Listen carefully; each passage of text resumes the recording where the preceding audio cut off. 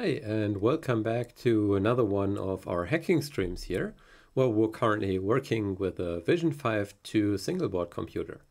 And let's actually quickly switch over to something we spoke about just uh, a week ago and have a look at what happened. So uh, first up, we were talking about the kexec mechanism and I had backported that to the development branch in the Linux fork at StarFive. So uh, here we have the uh, pull request that I filed, um, where you see it's essentially 27 commits, which I really had just cherry picked. And I left a note with instructions on how to actually uh, leverage this now. So uh, the thing is, uh, with this patch set here, uh, you could already now do something like taking the original vendor code for DRAM init, then switch over to OpenSBI, and within OpenSBI, start working uh, with LinuxBoot here. You would just need to have something to uh, write that to the flash part on the board. So you could either use uh, some existing tool, which is working over uh, the file transfer uh, via Xmodem that we have, but that is very, very slow. So you may want to use a programmer instead. And well, you would need to rework a few things maybe. Um, somebody has actually started that. Uh, I will uh, put a note here in the notes later on. But yeah, let's uh, not get too much into that. So yeah, we don't have something um, like fully working end to end yet, but it's like uh, almost there. Anyway, so yeah, I contacted StarFive and um, gave them a hint on this pull request here. So yeah, they can also look at that. Um, now, in the meantime, something happened and they made another, another release here. And let's have a quick look at that as well. So uh, we're not looking at the Linux repository here now, but instead the VisionFive 2 repository and especially the releases. So there is a release now. As you can see, it's uh, 2.11.5. That is the version number. But when is it from? It just says last week here. It's not a specific timestamp. Um, anyway, that was right around the time we actually uh, did our experiments here. And what they did was, well, they now also put the PCI Express driver in the U-boot source code. So you can already uh, boot from PCI Express now, I guess, in U-boot already. Um, so I could download uh, an upgrade to that firmware here. However, uh, we're not uh, going to look further into that right now. I just want to have another look at the Linux PCIe code again, uh, because we just sort of roughly talked about that last time. And I was saying that, well, you could look at the driver and you would find a bunch of hard-coded values in there uh, with respect to, you know, the flexibility that is actually offered by uh, the vendor who made the controller. And you may remember there was this GUI interface where you could click and, uh, you know, have a lot of settings. So when they uh, did their uh, implementation for the JH7110 SoC, that is the one on the board here, they uh, chose to go with a certain configuration at StarFive. And so, yeah, those values are now coded into Linux. Um, but there is another thing I want to look at with you today, uh, and that is here in my last pane. So I'm looking at the driver here. So this here is the PCI Express driver in Linux, uh, which is not yet upstream, but it's in the fork. And this function here is the most interesting one to start with. And if you have looked into Linux or U-boot or drivers in general, uh, you may know that there is uh, this pattern of having a function which is called something probe, which is probing for the device. It's checking whether the device is, uh, the device is there. It's bringing up the device and initializing a bunch of things. And let's have a look at that here. So first up, the first part of the code is actually very much just fetching information from another source. And this here in particular, uh, this one and that one, those are the addresses where, uh, you know, the specific uh, parts that belong to this controller are in memory, and that is configured in a device tree. So if you look at the corresponding device tree source, you will find the matching base addresses. They're just obtained in a slightly uh, different manner. So you see this function here, dev read adder index. Well, that is just reading uh, this value from the device tree. That, that's really all it means. Now, a few other things here. Uh, there is reset get by name, uh, again, this is looking at the device tree, and this is also something you will see occur over and over in drivers. There is this one here, OSC, uh, for the oscillator, APB, I think for the advanced peripheral bus, XC for the XC bus, so those are the specifics now regarding this part, but it's always like there is some bus everything is connected to, uh, there are reset pins and stuff like that, and all of those need to be instrumented here. Now it also looks at uh, how the uh, part is configured. So there are different uh, different frequencies for the DDR part. Um, it's also reading that from, I think that was set up a bit earlier.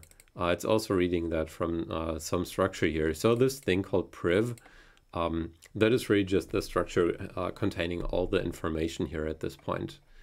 So yeah, if you look at this here, this is also all just saying priv, priv something. So yeah, uh, oh, the FRE, the clock frequency, we actually obtained that here from the device tree. So yeah, now at this point here, uh, we're checking if that is actually a known value that we have in the device tree. So it has to be either 2133, I think that's in megahertz, or 2800. Um, and then depending on that, they would uh, choose a certain rate. And then if you look further through the uh, code in here, you will see those two values, uh, or well, uh, the one that is selected is actually being applied somewhere. Um, now it says DDR frequency, but why does it say DDR frequency? Well, uh, that is a good question. It might be that the PCIe bus is really just uh, related to DDR at some point. I'm not sure. Maybe they're sharing a clock or something. That could be. So we will also look at the uh, DDR code in a bit again, so the DRAM code, and we may see something very similar. You see, there are some things here. Um, yeah, here we have uh, another hard-coded value again. This is a register address. It's currently commented out, so yeah, I'm, I'm not sure actually what is behind that anyway. Um, but yeah, so if you if you keep reading on, uh, you, you see a bunch of these here. Setting registers here, uh, setting the clock rate or a PLL or something like that. So this here would be one of the uh, PLLs. Then these asserts and deasserts for, you know, the oscillator, APB and XC, and then the setup here. Um, I might be con- oh, I, I see what's going on. I'm, I'm very sorry. Huh. We are actually looking at the DDR code now. Now that explains why it's all about DDR. I'm sorry. Uh, let's switch back. I, I really just looked at the wrong window. So we wanted to look at this here. Um, let's let's reset to like five minutes ago and start over. Okay, so anyway, again, uh, here you see the pattern now. So we have a probe function again. This is probing for the PCI Express bus now. And so let's walk through this one here very quick. And maybe we can have the thing that we just saw in mind already. So um, if, if you look at this here, let's just ignore this part here. It's just allocating some memory. Uh, you, you see something very similar. So first of all, we have a struct that we're working with here all the time. Here it's not called priv, it's called PCIe, but whatever. It's obtaining values from the device tree. So here it's saying PCIe parse DT, well, with PLDA before it, whatever. That is fetching a value again. Then it's passing on that value to some other function. Uh, similarly, we're doing uh, this here, pin control init. So this here is now uh, also passing on some information. Uh, we can see if that function is in here. It is. And you see it's doing a bunch of things here. So this here is a reset pin, for example, I think. There is like default and active. I'm, I'm not sure what those are really, to be honest. So yeah, you would need to have uh, really good expertise in order to understand the stuff here. Um, However, if you uh, uh, look through the code here, uh, in other functions, there is actually quite some comments in there, uh, which can give you a rough understanding. So if you know, like, I'm, I'm not sure if it's something specific now to PCI Express or to the vendor here that provided the part. Um, but I guess if, if you're very uh, deep into that domain, you will uh, get a clearer understanding. So yeah, again, there there is a bunch of registers uh, being configured here. So this update bits function that you see here on the right, I actually opened that up because I didn't know about those functions. They are provided by Linux as helper functions for drivers because there is certain patterns that you would need to do over and over, like, you know, setting just very specific bits and so on. So in that sense, you would pass a register, uh, you, you would pass something else. I'm not sure what that is. You would have a mask, you would have a value. Um, and so if, we, I, I guess this is like probably base address and offset. That's just my guess here. Now, if we look for this function here on the left, uh, this here is now the syscon h file. So this is just the header file declaring the functions. Um, we don't actually have that in here. Oh, yeah, I'm sorry. I actually opened this one here for the other functions. So these are like syscon something. Yeah, you you you was oh, I just uh, skimmed a bit through the files, and you will see, uh, you will see there's uh, a lot of these syscon functions also being used. Yeah, that one, for example, that you see here, it, it's declared here on the left. So yeah, uh, this here is for uh, getting values from the device tree. Um, yeah, let's let's switch back to where we were, uh, the probing. And yeah, as you can see here, it's it's really a bunch of code. Uh, HW init something. Yeah, it's it's really just doing a, a lot of things. But yeah, as you can see here, for example, there are actually quite some comments. Um, probe. There we go. All right, so this here is essentially like the entry point, and then if you walk through this, you see there are a lot of uh, a lot of other functions being called. Um, like this one here, for example, we just talked about that very briefly. It's used in a few places. Uh, it might even be from a different place. Yeah, it could be that that is like a common function in Linux, for example. Um, yeah, set drv data, drv Usually DRV is for like drive, I would guess. Yeah, I'm, I'm not sure what it's for. Anyway, yeah, here, here you see this function being called. That is also a larger function again, that one. So if we jump to this, it's, it's a bit longer, not too long. Uh, yeah, similarly here, it's like moderate length functions, I would say. Yeah, so you, you see a bunch of these. Uh, one of the last ones being hardware init. So this here is, is a bit more extensive again. It's writing to a lot of registers, and this is where we saw a bunch of these comments here. Well, and when it's done eventually, uh, it's just going to return. So uh, this here, if, if there is an error, it would do some cleanup again, but otherwise, you know, it, it would just return. And well, now the question is, how does that actually work? So uh, when you write a driver in Linux or would or something, it's actually like that in many systems. Um, you would declare uh, your driver in a way. So here you see the metadata for the module. Um, and then hear, here you have this function. This function is registering the driver for the Linux kernel. So this function here, module platform driver, that is something also provided by Linux. And here it's passing on something. And this something here, well, that is a certain struct, and this is the platform driver struct. Also something coming from Linux, and this is where it's passing on all the functions that are declared in here, or well, the necessary ones. So there's the probe function, the remove function, and then there is another struct which is just called driver, where you know we have like uh, a name, we have this here, uh, the match table for the device tree. So OF, if you remember, comes from Open Firmware, which uh, declared the or uh, you know came up with a device tree standard for declaring the uh, hardware information. And uh, well then we have this here pm i guess this is for like power management. So if like some component in the system is not in use it you know can be powered off or something or put into suspend. Anyway so yeah that was a very uh, rough uh, look at the driver again. Now slightly deeper um, to be honest, it's, it's really also beyond my knowledge. So yeah, I, I can't provide you with much more information here. But if anybody has something interesting to say, uh, maybe drop some comments here, like below the video. Okay, so uh, now let's get back to uh, the DRAM drivers again and look at this here. So yeah, we, we already accidentally looked at this. Um, so yeah, again, this is a probe function. And now that we know how drivers work, uh, let's actually jump down here uh, where in a very similar fashion to what we just saw for Linux, a driver is being registered for U-boot. So they have this function, U-boot driver. And then here again, you have a name. Now for this here, uh, you have OF match, like for matching a device tree entry again, open firmware match.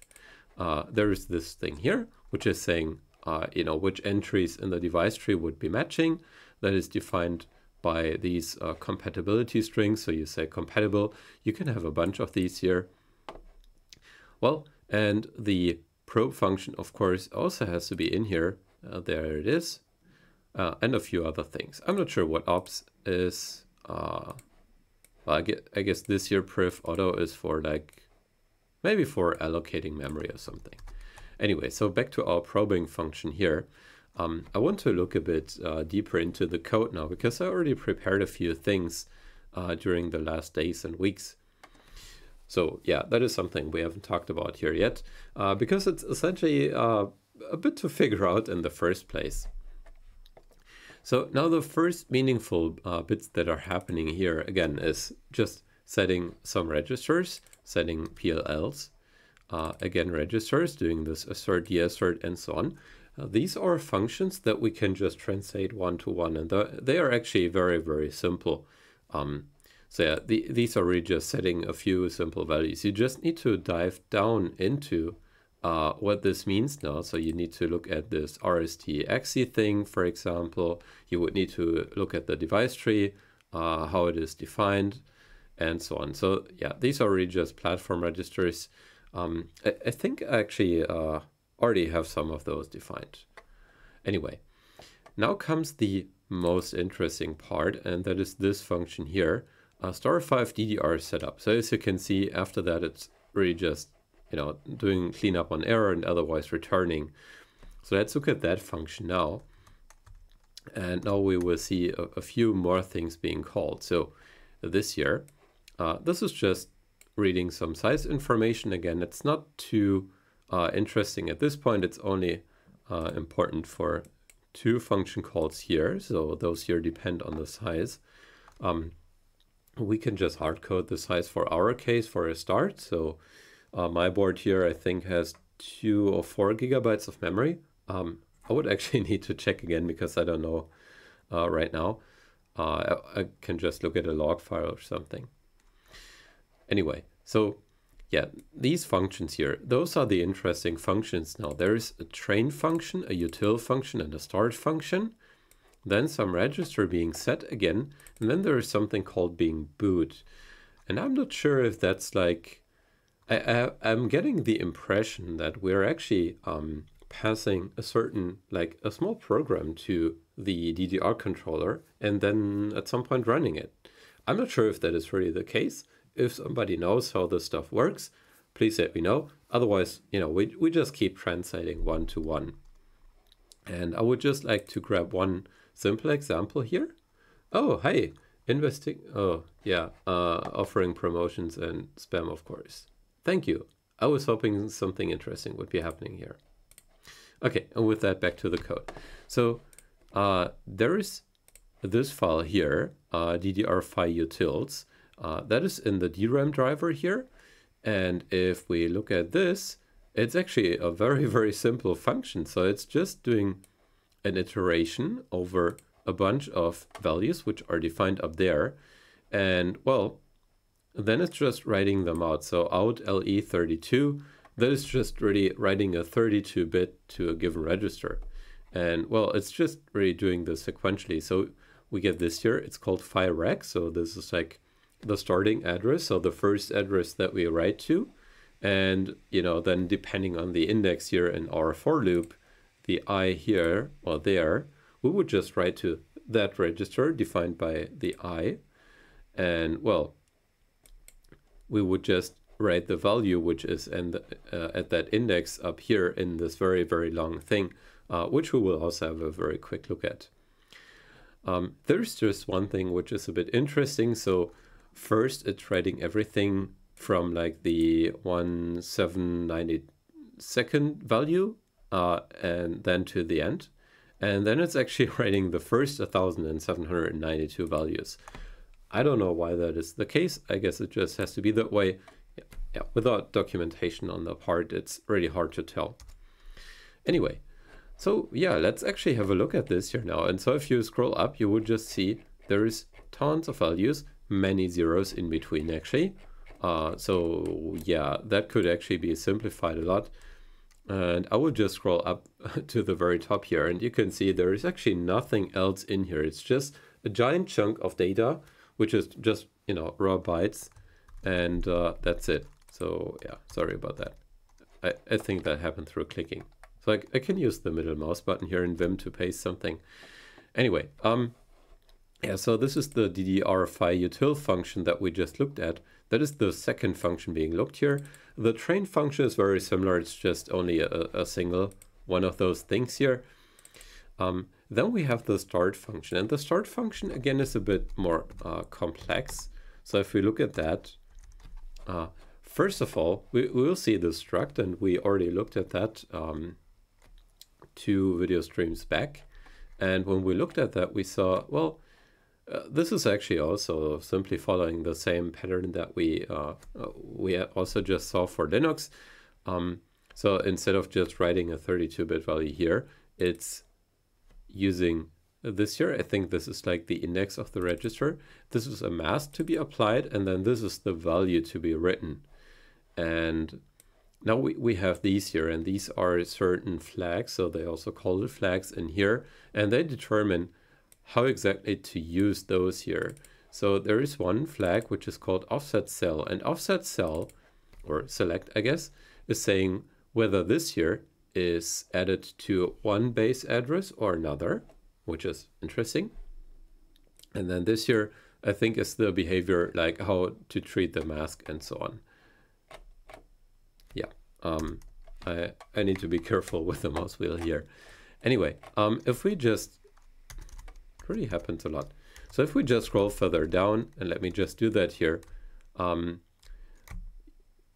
you see there is now just a few small functions. Again, these are a bit larger, but whatever. So one again is looking at the size, and depending on the size, it's saying uh, ddr set. So that is the function that we just looked at uh, above here. This one, uh, we, ju we just skipped past it.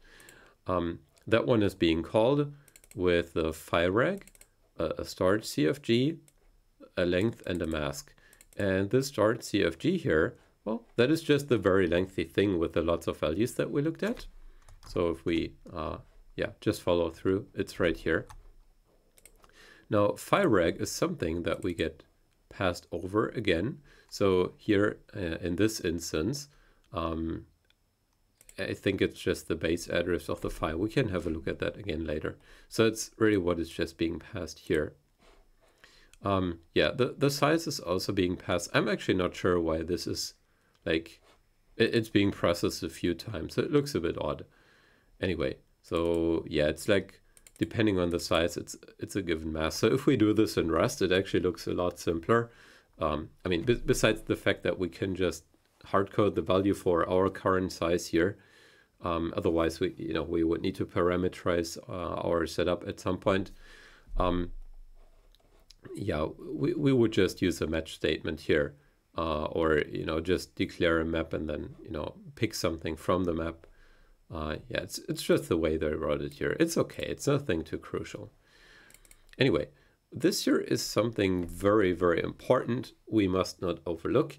So it's writing to the PHY reg base register just the value one. I guess this is something like, I don't know, reset or, you know, turn it on or something like that. So yeah, this is something um, we, we must not overlook. Yeah, uh, otherwise here, uh, let's look at this ddr reg set function here. Um, again, this is just doing some iteration, right? So it's getting uh, this, where is it? There. So it, it's Oh, hang on. So we are passing file reg. Okay, so this reg here, this is still the base register and we're passing on the data. Um, which is also a bit interesting because it's exactly the data that is also defined above. So yeah, we, we could actually omit all of this here and also omit passing it on here. Oh, whatever. So there is len and there is mask. And so how is that being used? So first of all, uh, let's look at this here and talk about this offset cell thing again very quickly.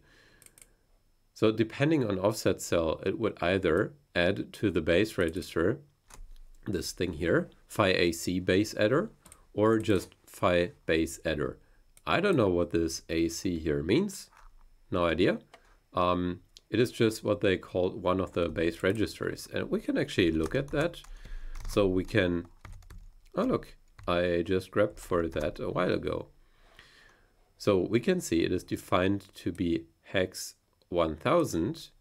Um, so yeah, it's, I don't know. We, we just need to define that value also in our code. It's, it's just being added to rag here.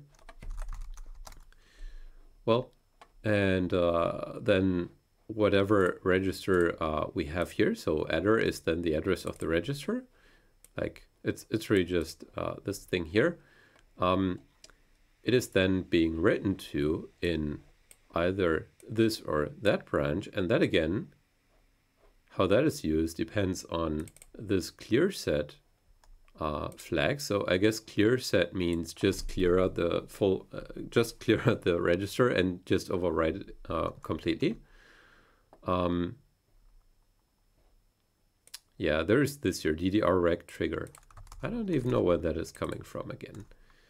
Yeah, it might also be something they only have in here. Uh, let's let's have a look. RG. Yeah, let's look with some context. Oh, look, it's a function defined here in the header. So, okay. It's used exactly in two places and it's some weird macro. So it's it's reading from the register, applying the mask, and then ORing the value. There is actually already existing helper function. I'm not sure why they are doing it here in this way. Yeah. I may need to take a closer look again because it looks to me like something very straightforward and simple. Anyway, uh, yeah, here at this point it's just writing out a value and here it's, well, reading the register first here and then adding this value. That is also very interesting. So there is clear set, set, and doing this here. So this is like increasing the value that is being read here. It's interesting. I'm not sure why that would be necessary, but yeah, I, I guess they just know. We can actually look at uh, where this would apply. So we can we can look at this here, for example. So for this here, we would be adding this value to this register. And it's a good question why this mask here is even declared. So yeah, I don't really see why that would be used here. Yeah, maybe maybe things would just uh, clear up a bit if we um, if we just continue translating and then we see it in our code. So yeah, anyway, uh, yeah, with a brief look at that again, um, this here is an even more complex function to look at. I uh, also started with that.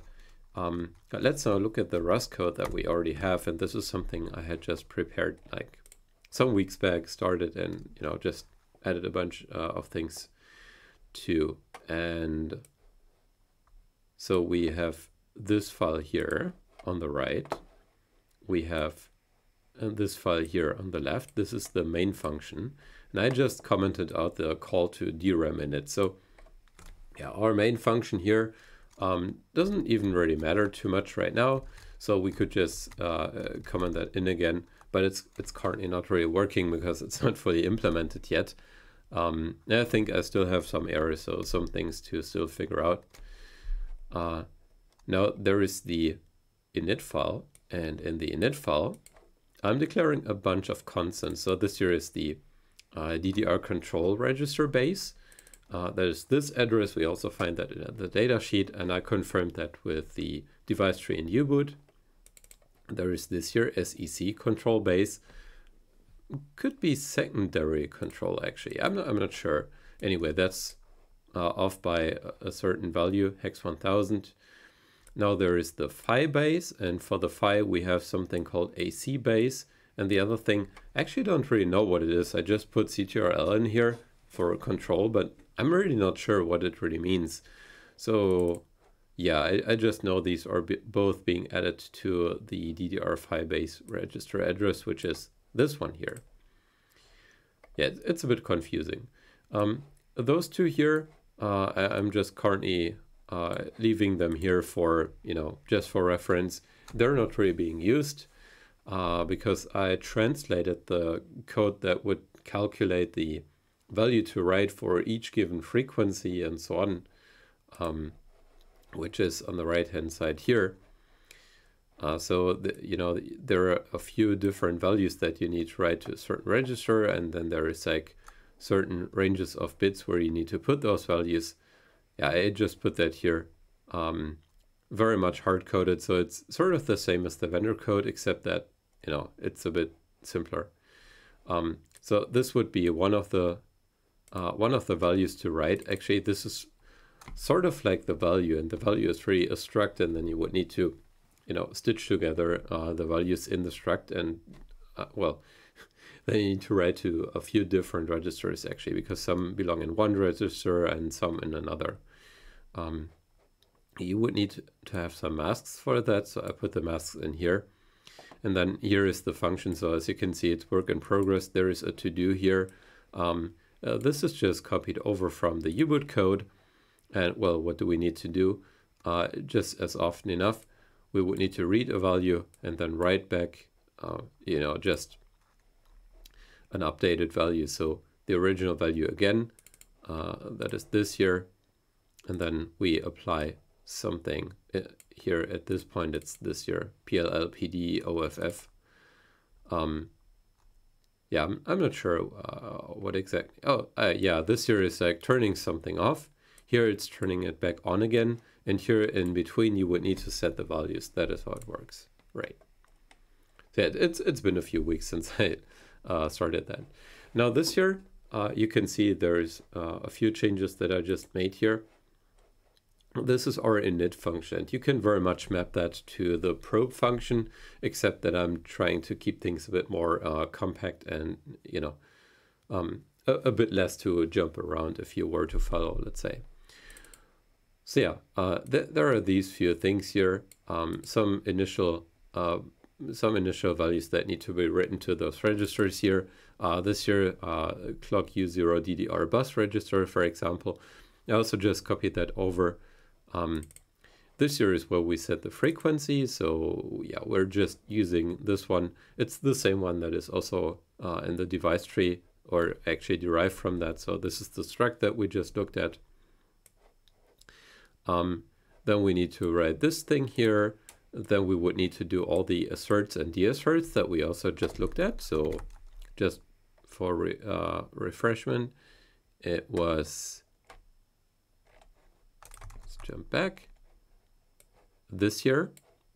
And now I took this function, the DDR setup function, uh, which is calling all the other functions again. And well, I just put that here. So yeah, I don't really see the point in having those here in a separate function. You could do that, but yeah, it's, it's, it's still like the most high level function than calling into all the others. So if we look at this here now, the translation of the train function, then we would see well, it is the very same thing as uh, in the other case. So up here we have our lots of hard-coded values. I just copied that over and did a few formatting alignments, but not too much. Um, you, you can very clearly see there is some structures in here. I'm not exactly sure what the structure is, but you know, I was starting to see patterns like this here, for example, looked very interesting. Um, yeah, this looks like a certain uh, table or something, right? So yeah, that could really be code actually.